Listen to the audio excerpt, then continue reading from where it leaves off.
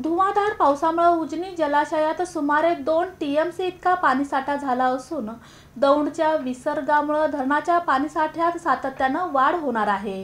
धुवाधार मुसळधार पावसामुळं उजनी धरणाच्या पाणीसाठ्यात लक्षणीय वाढ झाली आहे दौंड इथून पाण्याचे विसर्ग वाढवण्यात आल्यानं पाणीसाठ्यात सातत्यानं वाढ होत आहे धरणाच्या पाणलोट क्षेत्रात पावसानं दमदार हजेरी लावल्यानं उजनी धरणातील पाण्याची पातळी पाच टक्क्यावर पोहोचली आहे सद्यस्थितीत एकूण पाणीसाठा सहासष्ट टीएमसी झाला असून उपयुक्त पाणीसाठा दोन पूर्णांक सत्तावीस टक्के इतका झाला आहे शुक्रवारी धरणाच्या लाभक्षेत्रात सत्तावीस मिलीमीटर पाऊस पडल्याची माहिती वेधशाळेनं दिली